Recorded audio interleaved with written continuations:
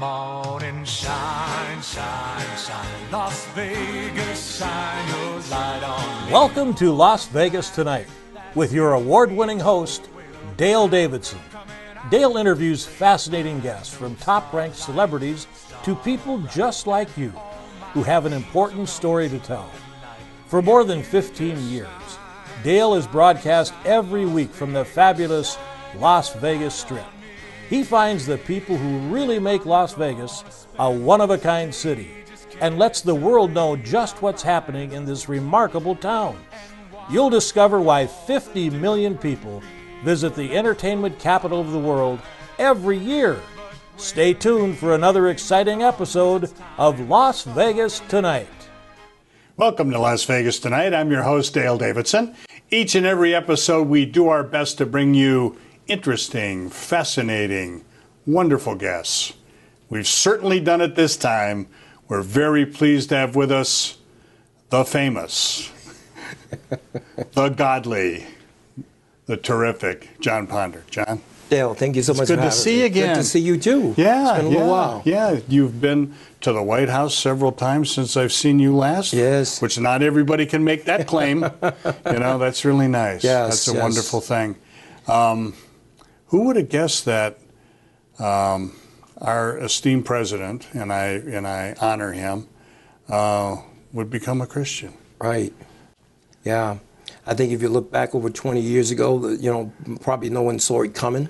Yeah. But uh, praise God that He is doing some gigantic work in uh, in our president's life. Yeah, you know when he, I knew he meant it, and he was uh, the real deal when he worked so hard to uh, to get the Johnson Amendment um, eliminated, and and freed up pastors to talk about politics, which is an important part of life. Right. And uh, you know, I hope the pastors do so. Right. You know, I really do. And I think that they are. Um, Do you? Um, you know, I think that they, a lot of people are very excited Yeah. uh, at that. That was, you know, the the talk uh, from you know from the platform. Oh, yeah. Um, you know, Sundays after that. So it just, you know, it it gives you know give give folks an opportunity to be able to you know to to utilize that platform. It's important. Very much so. It's important.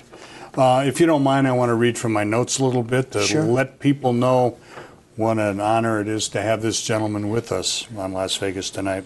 As you probably know, Jon Ponder is the founder of Hope for Prisoners.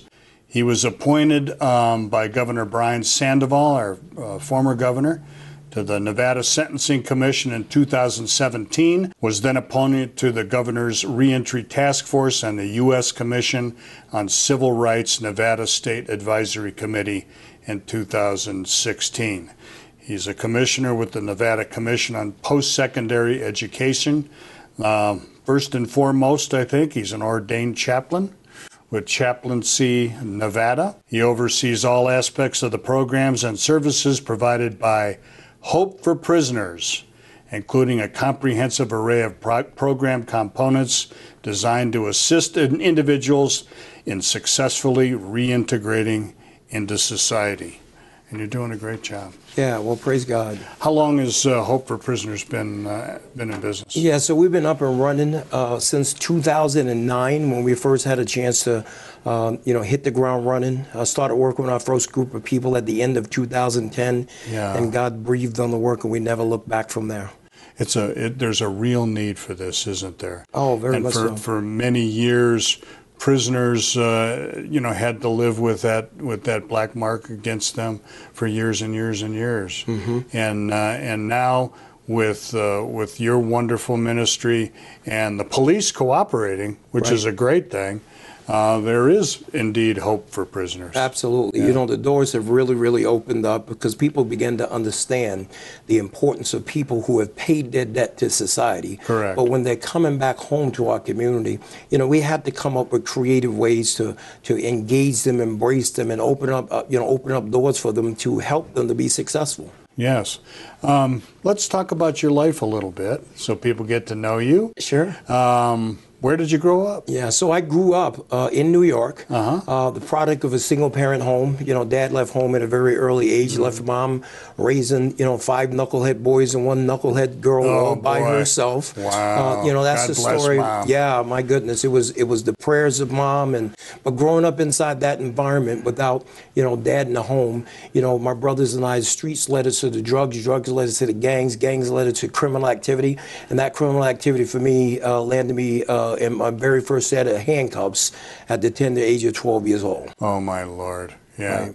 And so that was a juvenile charge and and you never looked back was was there a constant stream of of uh, bad acts going on? Oh, absolutely, 100%. But, you know, that, that from 12 years old, uh, you know, I caught my first felony conviction at 16 years old. Oh, boy. Uh, the, and uh, life just kind of spiraled out of control out of there. It was like stuck in this rut of never ending in and out of uh, jail systems, prison, drug addictions, and, and things of that nature. Wow.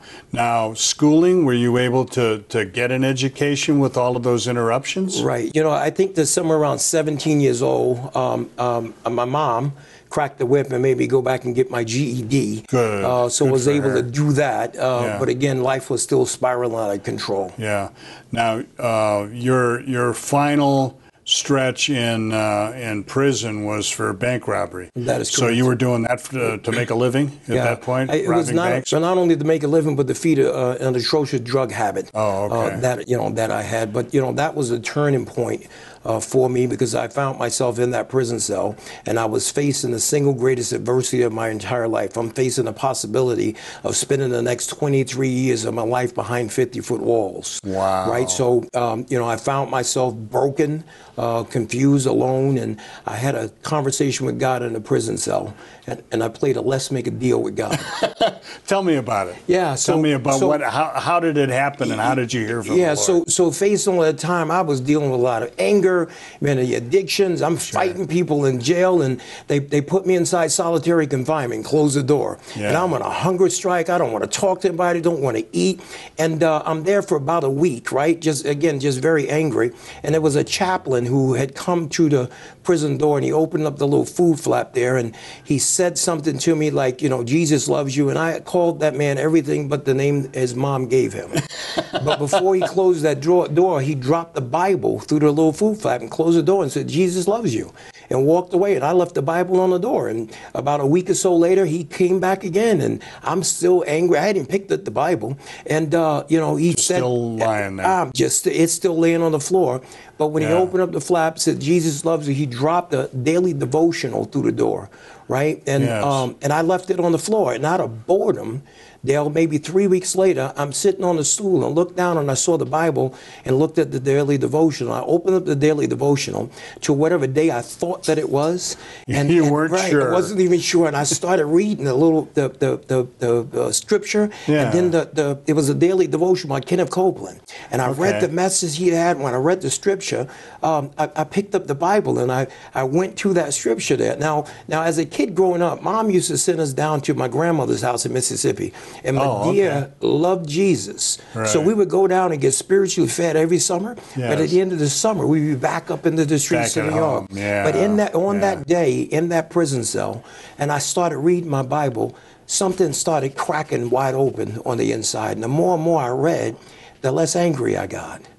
You know, and I tell people that, you know, when you're in solitary confinement, you're supposed to be in there by yourself. And I tell them, no, I was not. It was me, Jesus, and Kenneth Copeland. So after spending that Yeah. time there, I was about to go get sentenced, about to face all that time. And that's when I paid, let's make a deal with God. I asked God to go before me in the courtroom. And I said, you know, can you climb into the robe of that judge? Hmm. And I asked God to search the med- meditation of my heart. And I said to him, I know that I know that I know that you're real. You revealed yourself to me in that prison cell. And I said, if you go before me in this courtroom and, and, and move Judge Mahan right out of the way, right, and whatever time that I get, God, let it come from you. Let you be my judge. And I said, whatever it is, whether it's 10 years or 50 years, search the meditation of my heart. Whatever it mm. is, I'm going to spend the rest of my life serving you. Wow. And I stepped up in that courtroom, and unmistakably, God showed up. Is that right? Oh, absolutely. 100%. Tell me what happened that day. You know, uh, we were we were we were there, and uh, Judge Mahan said something like, "You know, you have anything to say before I sentence you?" And I was like, "Man, you bet I do." So I opened up my mouth and just started just just sputtering things out. As a matter of fact, I didn't even know what it was that I said, Dale. I had to go back and look at my sentence and transcripts and realize. transcript, But the. Bible says that when you find yourself in situations like that, don't worry about what to say. That the Holy Spirit will give you utterance. And and were you talking about Jesus? Oh, absolutely. Oh, okay. And then Judge Mahan, who's my dear friend to this day, Yes. uh, he said something to me before he imposed sentence. He said to me that, you know, Mr. Ponder, I've sat on this bench for how many years I was there. He said that, you know, I have never heard anybody say what it was that you said. He says, if when you go to prison, if you do half of what it is you said you're going to do, you're going to walk out that penitentiary a transformed man. Right. And then he said something to me that just resonates to this day. He says, I don't know why I'm going to do this. But he says that I'm not going to give you what you deserve. And that's evidence of a God who sent his son that we might not get what it was that we deserve. Yes. So he, uh, you know, he sentenced me to a much lesser sentence than the 23 years. Wow. So walking back to my God prison cell, there, I'm yeah. crying. I've fallen down on my face and I'm shackled by my hands and my feet, and I'm thanking God. Thank you, thank you, thank you. You showed up, and I heard God whisper to me. He said, "Listen, my son, I honored what you asked me to do. You Never heard him, forget the yeah. promise that you made to me." And from that day, I got up off that floor, Dale, and my life went in a 180 degree turn in the opposite direction, and I never looked back. That's wonderful. Yeah. Now, when you got back to the to the penitentiary, or Mm-hmm. you you you were it, it, that was the next step, right? Right, yes. Was that here? Was that in Nevada? Uh, that was in Nevada where I got sentenced. at. Oh, okay, But when. I went to go do my uh, prison time, I had to do time in a maximum security United States Federal Penitentiary. Oh, boy. So they put me on a plane and they they flew me off to Allenwood, Pennsylvania. Oh, boy. Uh, behind 50 foot walls, where the vast majority of people on the compound they aren't ever coming home. You know, just give give folks like that a thousand years. Wow. But it was inside that environment where God had men that were positioned for me. Tell me, tell me what you, what you did when you were back in the prison um, to maintain your faith. Right. Because that had to really be tough. Right. It was yeah. It was a challenge. It really was a challenge. 1,150 people on the uh, on the on the compound. Yeah. Uh, back on the East Coast, there was a lot of people from the Nation of Islam. Okay. So people that did not believe in the same God that I believed in. Yeah. Um, you know, when you go to prison, you know, you you have to. You know, get connected with different people, right? And you know, because of an You need to affiliation, protect yourself. Absolutely, and because Yeah. of an affiliation I had many years ago, Mm. it was like I was automatically drawn into that particular group of people, and Mm. they were asking me to, you know, come on in and come with us. And but Dale, I never forgot that promise that I made to God. Right, I, I said that I'm walking away from this life. God, just give me the strength by the power of your Holy Spirit to resist the gravitational pull back into that life. Yes. And He did 100%. Were you fearful that, that there would be reprisals from these guys who wanted you back in the gang? Oh, absolutely, one hundred percent. And you know, I tell everyone with no shame, I was absolutely scared to death. Yeah. There was times where I did not, I really did not know whether or not I was coming home. Yeah. Right, but I'll never forget the day when you know the when the rubber hit the road and I had to go and confront them. Right, was called up to the you know table with the rest of the people that was affiliated with the gang, and and I prayed before I went up there and and just asked God to be there with me. Right, mm-hmm. because I made a promise to you. I know you're not going to leave me here. Yes. And I walked up to the table and I just said to them that do not call me back up to this table anymore. Right? I if unless you want to talk about the Bible, you want to talk about Jesus, you want to talk about improving the caliber of how you're going to live the rest of your life, don't call me anymore. And I turned around and walked away. And as I turned around and walked away, I knew that there were people that were there waiting for the nod of the head from one of like one of the, the bosses there, you know, stab me, beat me up, whatever the case may be, but Yeah. nobody moved. And from that day forward, I turned around and walked away. And the ironic part about it, and this is why when I go back in prisons now, I share people that want to walk away from the gangs. Yeah. Right? Those same men that were there, that were prepared to kill me, you know, a year and a half later, these were the guys that were coming up to me and say, "Hey, listen, I respected what you did back there. My grandmother's a Christian. Can Is you that pray for this?" So I had an opportunity to stand on the prison yard Yeah. and now pray for people and you know having the you know have an opportunity to introduce you to to to the, the Jesus Christ that saved my life. So you were a de facto chaplain, you know? Yeah. You know, without portfolio Yeah, exactly. at that point. Yeah. But what a wonderful, what a wonderful experience Yeah. that was. Uh, we need to take a brief break, Jon. When we come back, I want to continue a little bit about the transformation, uh, the redemption of your life, and then I want to get into it to talking about hope for prisoners, Sure. and also talk about the the justice system and what's going on in America today. Okay. We'll be back with the wonderful Jon Ponder right after these messages.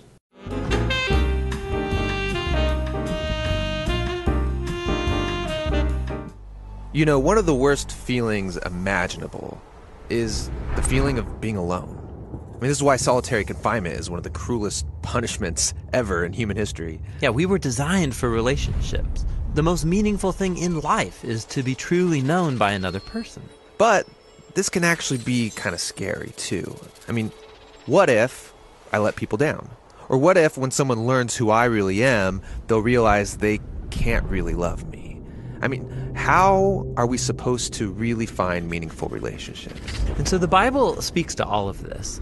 It says that God created the world in order to share with us the beauty of existence. God's desire for us is to have significant friendships, to be part of families, to create things, and to share our work with others. And all the while depending on God as our source of love and life. But here's the thing there's so many barriers to that. There's loneliness, fear, hatred. And the Bible claims that these are a result of our being disconnected from God. Without God, we don't actually know who we are anymore. But at the center of the Bible story is Jesus, who wants to bring us back into a relationship with God. Jesus claimed that God loves us for who we are, and that He calls us into a relationship with Him despite our failures. And when you realize how loved you are by God, that He is not ashamed of you, it changes everything. It gives you a source of love that is not your own. So the story of the Bible is calling us into the most important relationship. Yeah, it's calling us to know and be known by the Creator God Himself. Hello, everyone. I'm Dale Davidson of the Christian TV program Las Vegas Tonight. I have a brief message for you that I pray will give you hope. The Bible tells us, do not fear, 365 times. That's a wonderful reminder for us each and every day of the year. Please believe that when bad things happen, God is not to blame. We live in a fallen world, and the evil one we call the devil wants to bring us pain. Understand that the Lord is by our side, walking us through our trials and bringing us peace. I ask you now to pray to God for peace deep in your soul. Please join me in this prayer. Dear Heavenly Father, please give me peace. Help me to shake off worry and truly know that you're the one in charge. I know that through my faith in your Son, Jesus Christ, I will spend eternity with you in your glorious kingdom, heaven. Help me to understand that you'll protect me from harm and give me the strength to love other people as the creatures that you've created. In Jesus' name we pray, Amen. And God bless you.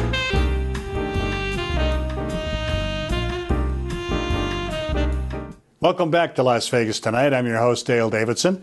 We're excited to have Jon Ponder with us. He's the founder and CEO of Hope for Prisoners, a terrific organization that is being copied all over the country now, isn't it? Yes, it certainly is. Yeah, people coming to you and saying, how can we help the, the prisoner population reintegrate into society? Right, Yeah. right.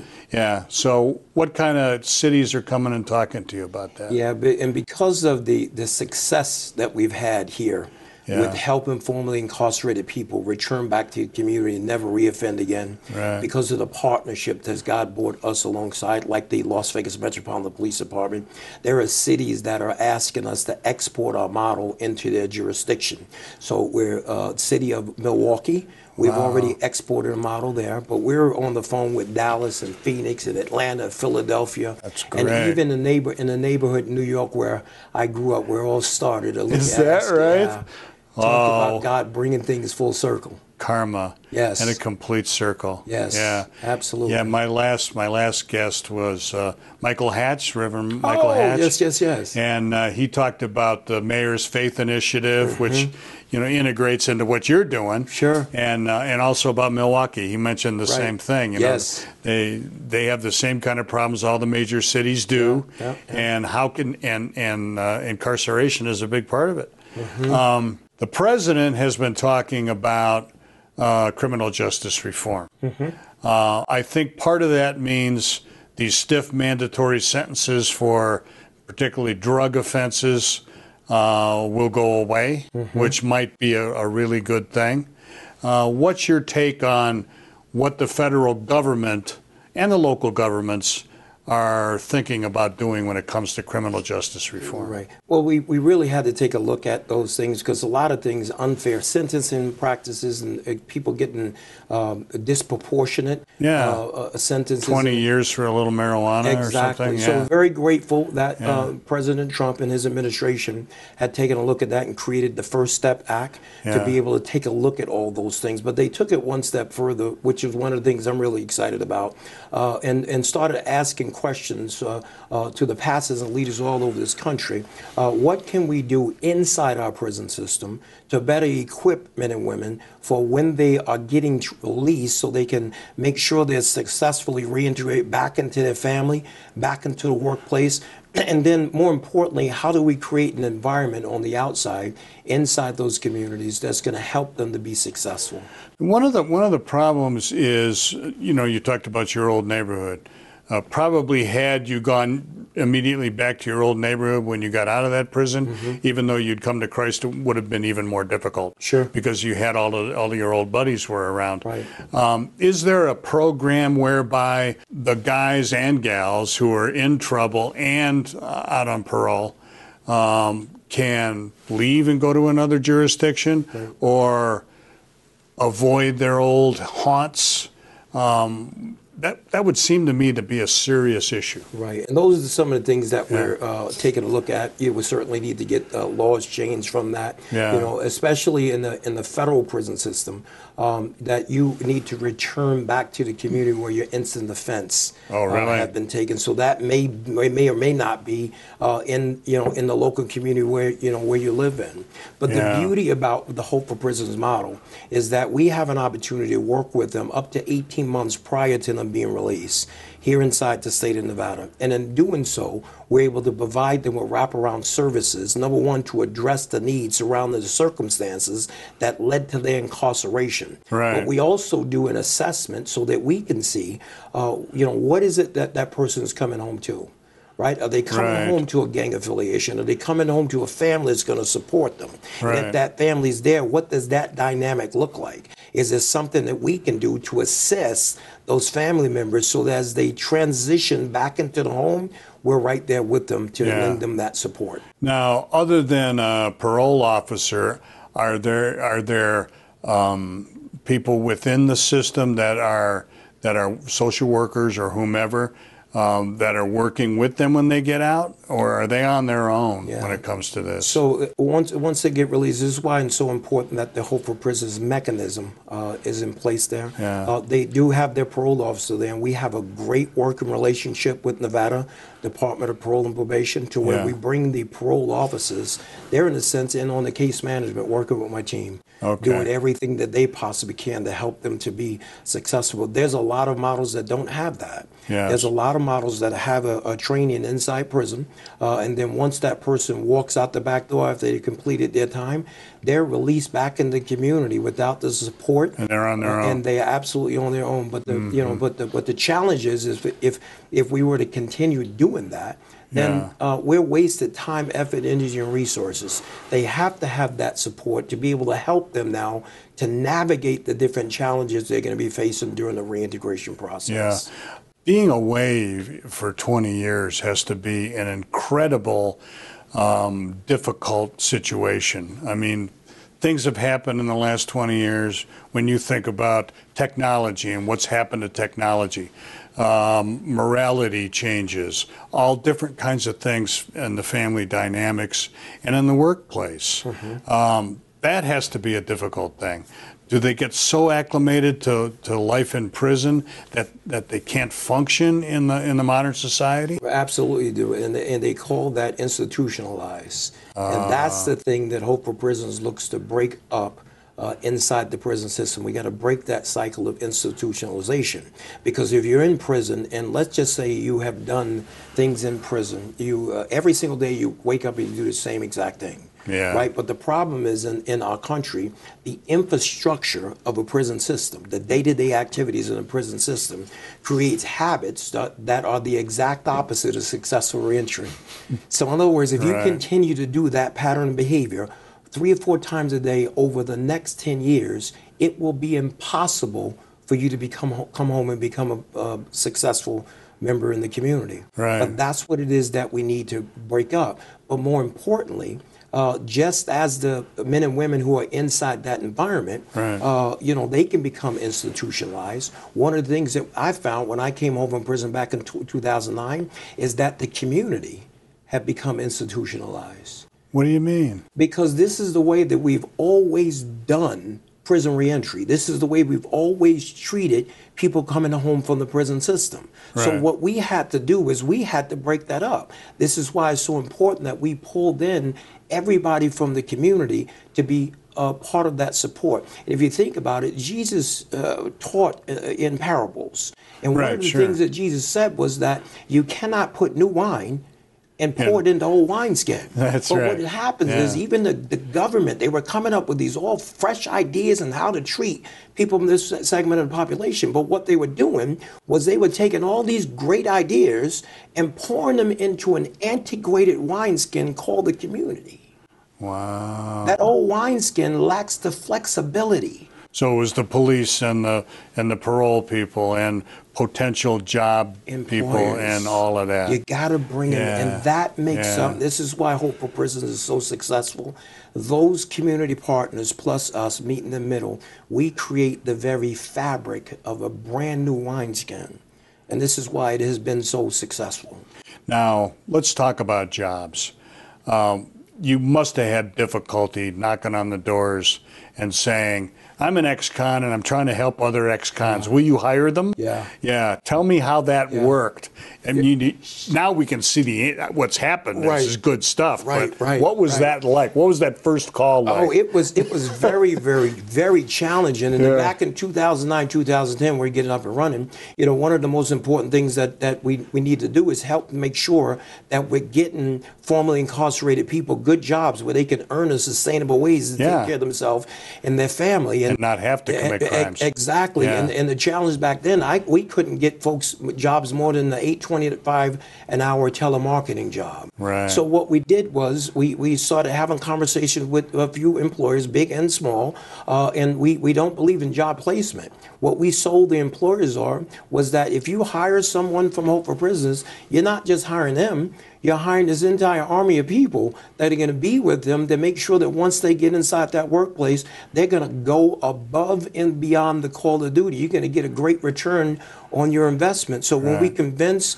you know, five or ten employers to do that, uh, they they had gotten so good that the employers kept coming back saying, "Can we get, you know, five or ten more of those?" And, Oh, you know, and that had just grown over Yeah. the years. More partnerships coming on board, and you know, right before COVID hit, our organ- we Right. were sitting on more jobs than our organization can fill. oh, that's that's Right? phenomenal. And it would have anything Yeah. to do with us. We know God Yeah. had breathed on that, but it had everything to do with the men and women who were coming home from prison, got inside that workplace. They they utilized the, the, the leadership skills that we trained them with Yeah. and got inside those workplaces and began to soar like superstars. Wow. Now the thing about uh, about all of that is clearly it's God breathed, as you said. Um, do obviously I'm sure many of the prisoners come to Christ, um, but it's not a requirement, right? Mm-hmm. Right. No, it's they, they don't need to, to be a Christian. Yeah. But you, do you encourage it? Do you just live live it and, and, and be a model for them? Yeah, Is that- absolutely. you know, Yeah. you know, Dale, and I, I'll put it to you this way, right? I know that there are some men and women who are coming home from prison that do not believe in the same God I believe in. Yes. And man, we want to do everything we can to help them. Yeah. Right. So you know, once they get in, we have an opportunity to help them. Then, if they want to have a conversation about Jesus, absolutely. You want to attend a Bible study, absolutely. If you don't, that's okay too. Yeah. You know, we are going to live out the scriptures, and if we live out the scriptures and love on people the way we need to love on them, maybe they'll see the Jesus on the inside of us and be able to have that, you know, have that conversation. Wow. Um, do you take tax tax money? You take federal money or state oh, money? Oh, absolutely. Do? We, Oh, we okay. do. Uh, we were able to, and it's, it's kind of funny too because I had a conversation with somebody about this this morning. Uh, you know, when I first got everything got everything up and running in 2009, 2010, we weren't in the pos- position to qualify grants, right? Because we didn't have a track number. Here's this, Yeah, this formerly yeah. incarcerated guy that they, they they didn't know that Jesus touched my life and transformed my life. So everything that we uh, that we did was built off of personal and private do- donations. Right. You know, working with a lot of people, uh, you know, Christians, and depending on some of the churches for monthly support. And Oh, out yeah. of that laid the foundation for us to build up this godly uh, Mm-hmm. uh, uh, uh, model that then the other folks took notice um, and how people were having their lives transformed. and and you are high profile. It's amazing because I've, I've watched it since the beginning. Uh, I think we met right about then, maybe 2010, Sure. when when uh, my former my friend and former business partner Guy Williams and I were Yeah, working yeah. together and starting Keen. You were starting Hope for Prisoners. Yes. And uh, to watch what you know, how high profile you are and your organization now is, it's got to be the hand of God. It, it, it has to be. I, I, you know, tell people all the time I couldn't do it, do it myself. You know, Hope for Prisons was a vision that God impregnated me with while I was in prison behind 50 foot walls. And I came home in 2009, dug trenches, and God gave birth to it. But I could not even imagine back then, in my feeble thinking, that it would be what it is today. Yeah. That we've had a chance to work with over 3,400 men and women. Is that have right? been through our process. 3,400. That's 3,400 fabulous. men and women. And you know, I happened to be watching live uh, on that on that fateful day in in the Rose Garden when uh, you became internationally famous. and uh, and tell me how that tell me how that came about that. Yeah. Uh, that you were called up to the dais by the President of the United States, Right. who said, "Hey, nice to meet you, Jon." Yeah, And- man, I got to tell you what, a, what an absolute honor Yeah. uh, that was. And I had gotten a phone call that there was a, a meeting that was taking place where they were discussing criminal justice and so forth and so on. So uh, I had gotten invited to the White House Oh, uh, okay. for this meeting. And at the meeting, I had a chance to speak with some of the president's officials. Pastor Paula White was there. And, Oh, sure. And I actually left the White House, and then my phone rang, uh, and you know they asked me and said, "Hey, you know, Chaplain Pond, are you still in D.C.?" And I was, "Yeah, sure." They said, "Well, would you mind coming back to the White House? It's something we want to discuss with you." So I hurried back to the White House. And uh, When they and- call, you do and- that. exactly. I was like, Yeah. man, I hit the, the, the, the lift button. I'm on my way. I just got to go catch up with me. But when I get back to the White House, um, you know, the, the people that were in the room early meeting, uh, they had a conversation with the president. They was telling him all the, the work, what God is doing, uh, not only in my life, but what, how God is using my testimony to impact the lives of thousands of people. And that's when they said to me that uh, the president would be honored if you would be his guest at the National Day of Prayer. So I was like, oh my gosh, what an honor. Wow. And then in addition to that, the FBI agent, who's my best friend to the day, Yeah. to this day, who was the arresting agent on my case, who is on fire for Jesus, Wow. they asked if he could come and attend. So uh, we had the privilege of standing in the Rose Garden with the, the FBI agent that was right I by my it. side. Yeah. Yeah. But you know, the, the powerful thing about that is that, you know, the, the president of the United States in front of millions of people told the, about the transformative power of Jesus in my life. yeah. Yeah. What a, what an opportunity and and and can God work anything for good? Oh, absolutely. What a what a, an amazing amazing story Yeah. and proof of that. Absolutely. Yeah. Yeah. And we're having such a great time here on Las Vegas tonight. We'll be back with Jon Ponder right after these messages.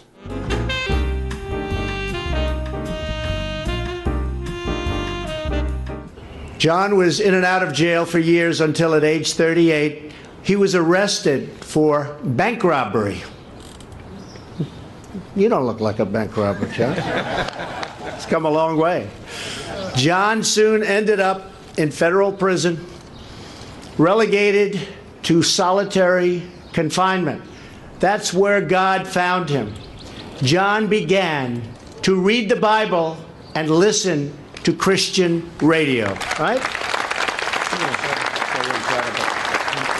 Incredible. One morning at 2 a.m., he woke up to the voice of the great Billy Graham.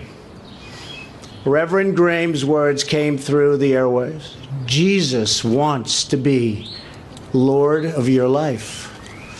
That night, Jon dedicated his life to Christ.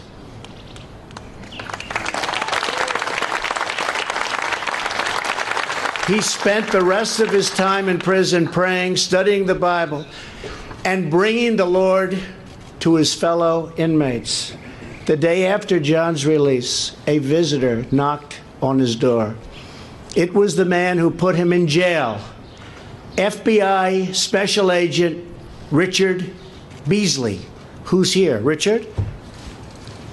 Come on up, Richard.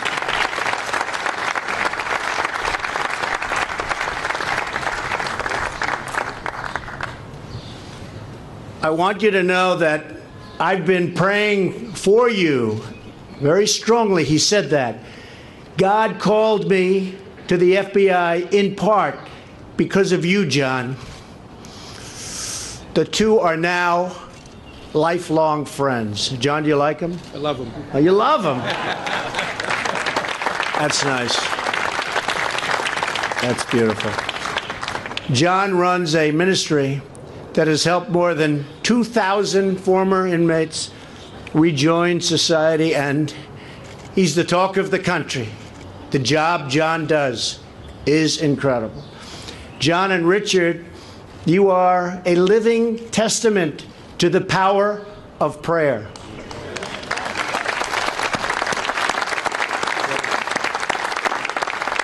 Your story reminds us that prayer changes hearts and transforms lives.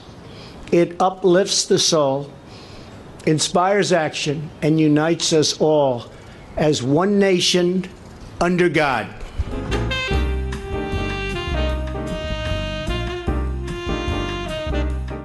We are back with Jon Ponder of Hope for Prisoners. And uh, what a terrific, terrific interview he's done so far.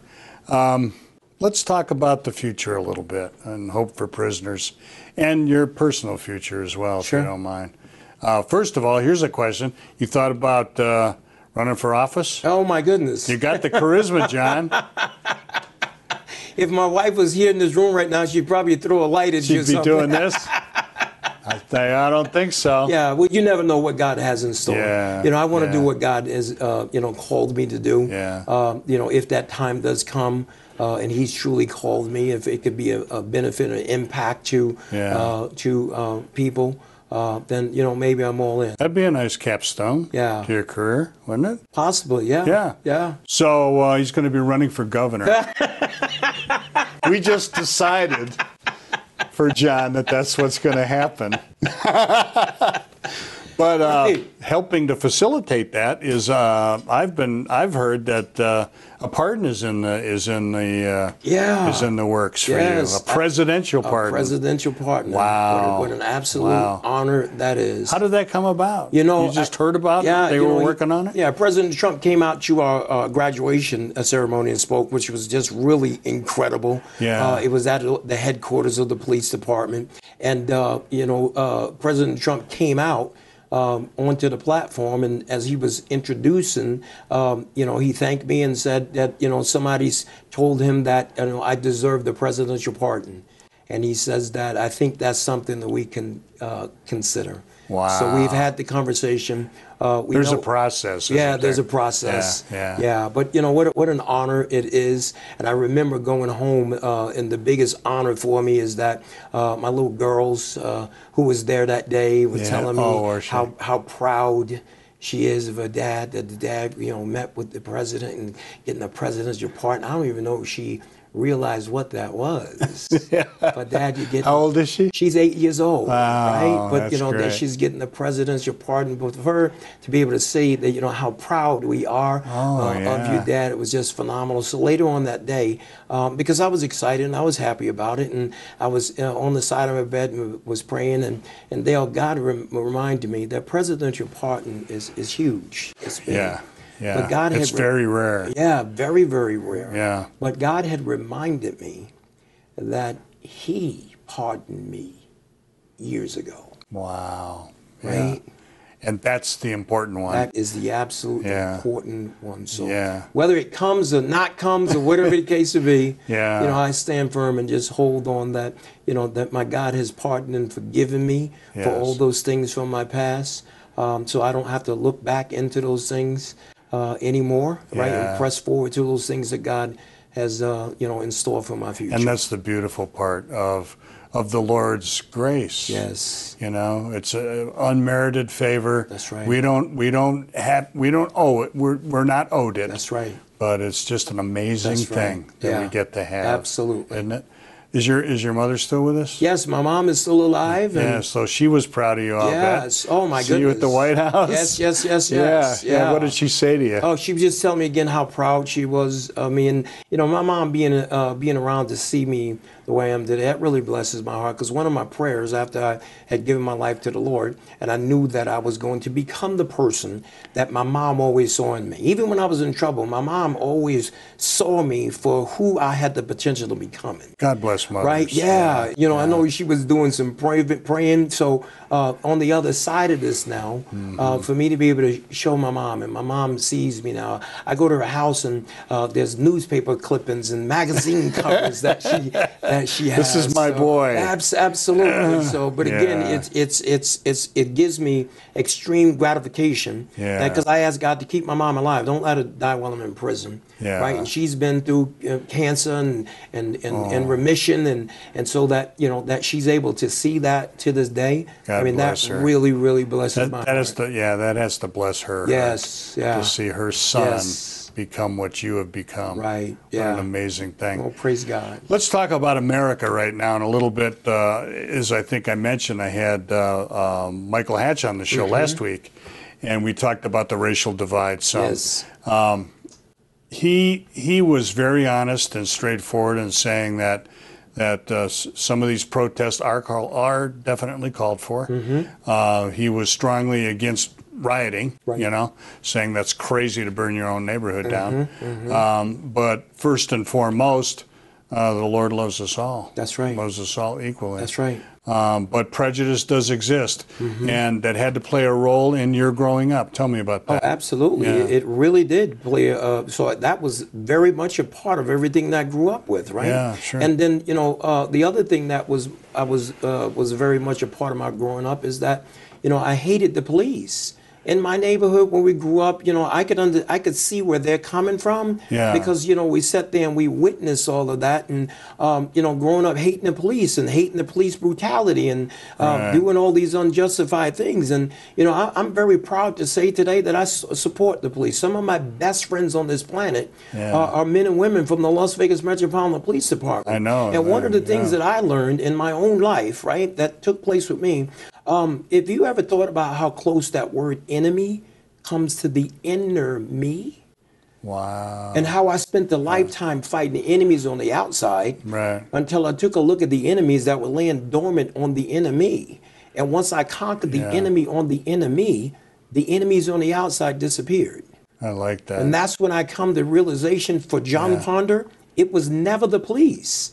It was always everything that was going on on the inner me. Yeah. And the minute I saw that black and white or that blue uniform, man, it's game on now.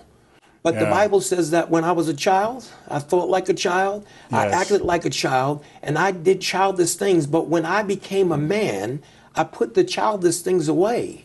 And the minute I put the childish things away, the enemies on the outside disappeared. Yeah.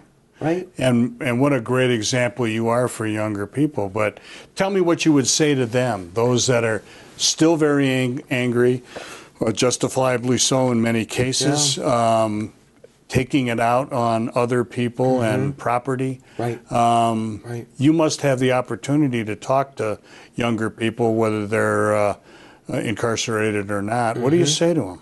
And the first thing I say to them is that you you know you protest. You should protest. We have a right that your voices are heard. Right? But violence. Freedom of speech and freedom Absolutely. to peaceably assemble. Absolutely. Yeah. But you have to understand that violence only gets more violence. yeah. So one of the things that we're working on right now uh, on a national level is after you have the protests, after the voices are heard, we want to create a, a platform so that we can really start to dig deep into the, the reasons for the protests Yeah. right? And then make sure that you bring some lawmakers and some law enforcement to that table, mm-hmm. along with those, you know, legislators, so we can create some uh, some some legislation, mm-hmm. right, to make sure those things get addressed. Mm-hmm. Because we don't want to put a band-aid on it. You know, we I remember the the Rodney King riots here in, in 1992. So do I. Right, big gigantic protests, and Yeah. people were marching, and then we put some band-aids on this thing until it happened again. Yeah. Right. And we don't want to just keep doing this every few years. Right, yeah. And there there are fundamental problems. Mm-hmm. Um, when people talk about systemic racism, it exists. Absolutely, it does. But there's got to be a way that, and I think you're right. It's going to take talking No, absolutely. and communicating, and Right. and part of the the mayor's faith initiative and and uh, the safe streets and you know Mm-hmm. all these different kinds of programs.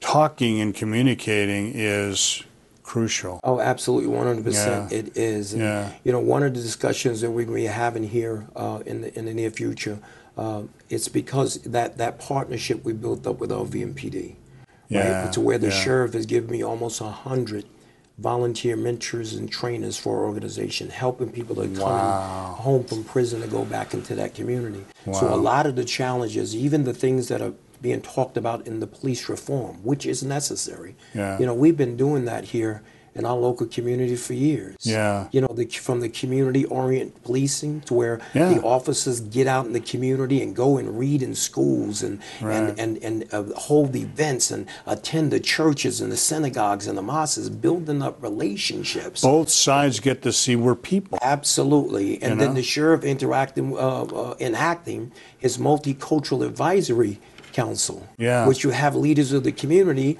that hear the cries of the people, that report up to the sheriff, you know, on a monthly basis. So it's always up in his So radar. here's what's going on. Here's what's going on, and what can we do? And the sheriff execute, and his team execute an action item. Good. But that's what we're going to be doing is that we uh, got reached out uh, because the White House and the DOJ uh, knows about the, the, the success we've had, and so they're they're going to do a national Zoom call. And on, Oh, the nation- really? on the national Zoom call, that is Yeah. coming down the pipe relatively quick here, they're going to have everybody, the higher ups in the Department of Justice, they're going to have people from the White House administration. But the DOJ is making a, a, an invite to all the law enforcement agencies across our country to bring them to this table. And Under Sheriff Kevin McMahill Oh, yeah. and oh, I, Yeah. they're going to give us a platform to talk about what it is that we're building up here in, uh, in inside Nevada. So Yeah. we're excited about that. That that's a wonderful thing, and and this as a model uh, is key. And police departments listen to other police departments, right? Yeah. So they might say, "Is this actually working, sheriff?" Right. Yes. And he says, "Yeah." And here's what here's the way to handle this. Absolutely. And that could stop things like what happened in Minneapolis from happening. Absolutely. You know? And that's what the ultimate goal is for us Yeah. to be able to stop census things like that. Yeah. But the only way that we can be able to do that is not with this divide. Yeah. Right. We need to come together in unprecedented community, uh, unprecedented ways, not only as a community, as a state, Yeah. but as a nation, Yeah. and begin to see people the way God sees people and love on people the way God needs to uh, you know, needs us the way they, He loves on people. Isn't that really the key? you know? Absolutely, it is. Yeah. Absolutely. Uh, Jon, you, you are very articulate and, and you talk with people in, in, a, in a very powerful way about Jesus. Uh, and through your chaplaincy, you have the opportunity to do it a lot. I wonder whether um, this is your camera right here, whether Sure. we, you wouldn't mind addressing the camera and talk to the people out there who maybe don't know Christ and talk a little bit about uh, about your experience and and what Jesus has meant to you. Sure. And then uh, bring them to Christ if you Right. want, whatever you Okay. want to say. Yeah, absolutely. Yeah, you got a couple minutes, Sure. so use It- them. it- yeah. it is an absolute honor and a privilege to be able to uh, to share this with you. Uh, you guys had an opportunity to hear my testimony, hear those things that uh, you know where I came from, uh, what my life was like before I surrendered my life to the Lord. Uh, where I was in an absolute hot mess and just finding myself in situations, this never-ending uh, vicious rut of doing the same thing over and over and over again. Until the age of 37 years old, I look back over the last 30 years, 37 years of my life, and didn't accomplish anything of great significance. And more than that, I left a path, a path of destruction because I didn't know who I was, growing up with the falsehoods of masculinity. And that day when I was in that prison cell and I surrendered my, my life to the Lord and asked God to, to, to be the Lord of my life, right? To, to, to show me who it is, that not that the person that I was, show me who it is that you created me to be. And as God began to reveal things about Him, the more and more I learned about Him, the more and more I began to understand about me and who it was that He created me to be. And that's when I came to the realization that I, I wasn't the name that the streets gave me. I wasn't the name that the people said I was. You know, I am who my God says that I am, and I can do all those things that my God says that I can do. And that made all the difference in the world for me. As I indicated earlier today, the minute I uh, surrendered my life to the Lord, I never looked back. I invited Him to be the Lord of my life. I invited Him to be my friend. And today He is my friend. He's someone who lives on the inside of me.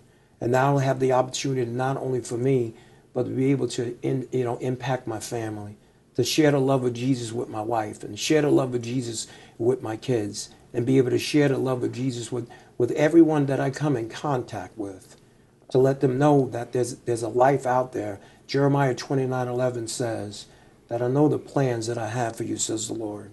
It's a plan to prosper you, not to harm you. It's a plan to give you a hope, and it's a plan to give you a future. And wherever you are right now in your life today, if you may find yourself in that place that I was, that saying, you know, I'm sick and tired of being sick and tired, or saying that I know that I know that I know that life has to be more than what it is that I've been living. If somehow something was different and you never really knew what that difference was, well, for me, my friends, Jesus is a difference maker. So if that's something that you consider doing right now, you know, my conversation with you is to have a conversation with your local pastor. Feel free to reach out to have a conversation with me at, at Hope for Prisons. Reach out. Let's have a conversation. Let's talk. But before we go, it'd be an absolute honor for those of you who listen, if this is applicable to you, if you just close your eyes and just repeat after me. Because the Bible says if you confess with your mouth that Jesus is Lord and, uh, Lord, uh, Lord and Savior, then you will be saved. So if you just bow your head right now and pray with me and repeat after me, say, Lord Jesus, Lord Jesus, I thank you for dying for me. I thank you for dying for me. I thank you for going to the cross. I thank you for going to the cross. I thank you for going to the grave. I thank you for going to the grave. I believe in my heart I believe in my heart that three days after you died, that three days after you died, by the power of the Holy Spirit, by the power of the Holy Spirit, you arose from the dead you arose from the dead and ascended into the heaven and ascended into the and heavens sitting at the right hand of the throne, and are sitting at the right hand of the And you're, ju- you're judging the living and the dead. judging the living and the dead. Lord Jesus, Lord Jesus, I ask you to forgive me for my sins. I ask you to forgive me for my sins. I ask you to take those sins and to cast them into the sea of forgetfulness. As you have forgiven us. I plead the blood of Jesus over those sins. I plead the blood of Jesus. And I invite you to be the Lord of my life. And I invite you to be the Lord of my life. Teach me, Teach me, love me, love me, and be my Lord and Savior. and be my Lord and Savior. In Jesus' magnificent name, In Jesus' magnificent name, we say amen. we say amen. Wow. Thank you, Jon. Oh, it is my That was wonderful. honor. It is Thanks my for honor. coming on the show. Yes, it's my honor. Man, let it Thank you not be having so long. Yes. You know, come again, Governor. See, go go home and tell your wife that we all we took a poll here, Right. and everybody said you should run for Yeah, governor next time. You and I both. That I get. I have one of those myself. Yes. So there we go. Thanks so much, Jon. My honor. Thank Jon you. Ponder of Hope for Prisoners. And uh, we've been putting up his contact information and his website and all uh, throughout the show. So you'll have an opportunity to get in touch with him. Awesome. Yeah. You're looking for volunteers? Oh, absolutely. Yeah. Always looking for volunteers, Okay. mentors, and absolutely. Oh, that's great. Yeah, the, the harvest is the harvest is plenty, but the laborers are few. Yeah, isn't that Yeah. always the way? Yes, yes, yes, yes. And thanks for being one of those laborers. Thank you, sir. My honor. God bless you. And as I try to say each and every episode of Las Vegas tonight, when it comes to our Lord and Savior, Jesus Christ, please walk with Him. Bye bye. Hi, I'm Dale Davidson, host of Las Vegas Tonight. You know, radio has an enduring place in the heart of America. Sometimes it's music that can enliven your spirit or keep you company when you need some. More often for me, it's just been the right spoken word or two that can quiet my mind and soul. Radio brings me a reassuring word in the quiet of night or a welcoming voice early in the morning as I shake off the night's sleep and find my way into God's purpose for my day. And always, I find the best radio station is the one that brings me the best news the gospel of Jesus Christ. My favorite radio station is KKVV in Las Vegas, Nevada. It's still right where it's been for years at 1060 on the AM dial, hovering over Sin City like a gospel airship, broadcasting the good news of the abounding love that Jesus Christ has for every single one of us. No matter who you are or where you live, you can receive God's Word via the KKVV Gospel Airship. Just go to kkvv.com and click on Listen Live. KKVV is using all the tools that God's provided them, like podcasting and video streaming and video on demand, to produce programs that lift up our fellow believers and save the lost. If you feel a calling to speak to others about Jesus Christ on your very own show, pick up the phone and call the station. They'll be happy to tell you how. Call KKVV today at 702 731 5588 or drop them an email at kkvvradio at hotmail.com. Please join me in becoming part of the KKVV family. You'll be glad you did. Come on and shine, shine, shine. Las Vegas, shine your light on me. You've been watching Las Vegas Tonight with your host, Dale Davidson. We hope you've enjoyed this edition of our show. We so appreciate your loyalty to our program. To keep Las Vegas Tonight on the air, please go to our website, vegassaints.org, and click the donate button.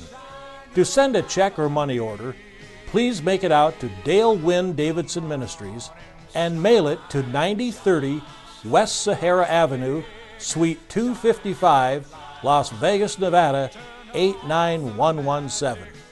To suggest a guest to appear on the show or any other suggestions or questions, write to Dale at Dale W. Davidson at yahoo.com or call him at 702 480 3989. Shine, Las Vegas, shine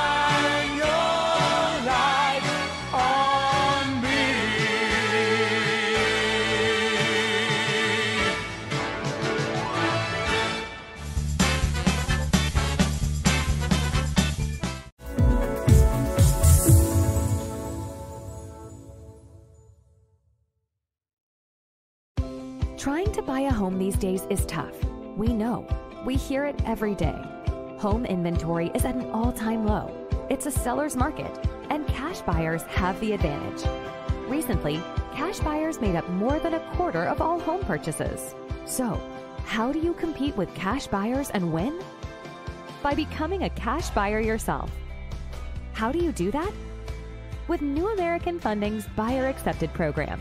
Here's how it works Buyer Accepted LLC, an affiliated company of New American Funding, will buy your new home with cash and sell it back to you for the original purchase price, plus a service fee that can be added to the purchase price of the home once you secure mortgage financing with New American Funding. This turns you into a cash buyer and helps you win the bidding war. And the best part? You don't need to sell your current home first. Don't miss this opportunity to buy your dream home. Call New American Funding today or visit newamericanfunding.com to learn more about becoming a cash buyer and winning the bidding war.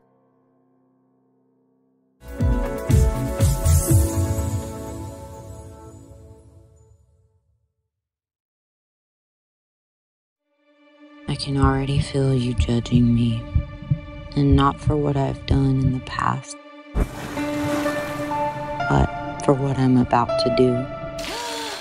I had what mattered, and I, uh, I got, I got careless.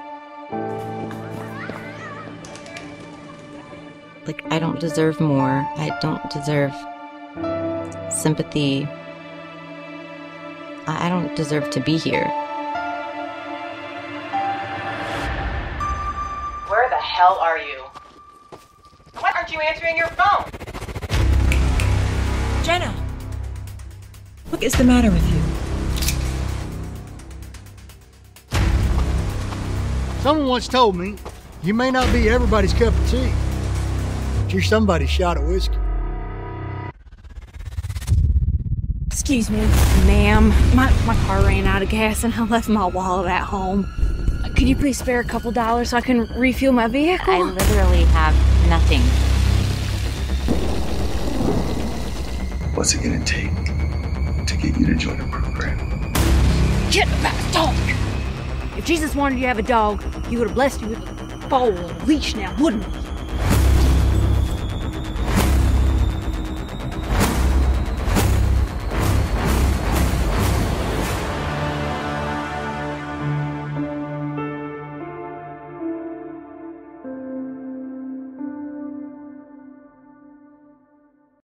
Have you ever dreamed of sharing your views and knowledge with the world?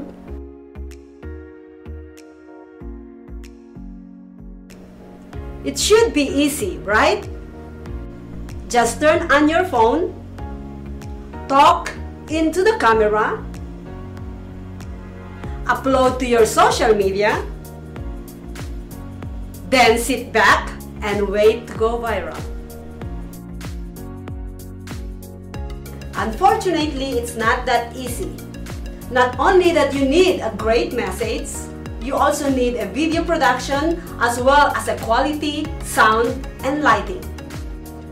If that's not enough, you still need to make sure that video's description, title, and thumbnails are optimized by SEO and search algorithms. What a hassle! Don't worry, Social Media Shows is here to help. With our years of production online experience and professional studio, we can remove all the technical roadblocks out of your way so that you can focus on the message you want to share with the whole world.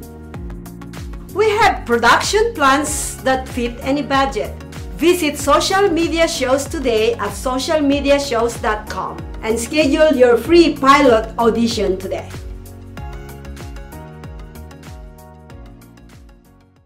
Hello, everyone. This is Joseph Skoda with Social Media Shows. Well, I thank all of you for your support through these last several years, and it's been a lot of fun. We've given people a voice they never had before. Now, Social Media Shows is always collaborating with our veterans to help them do things and help out the veterans who are struggling today. And we teamed up with GI Connections, GI Connections, connecting veterans with resources.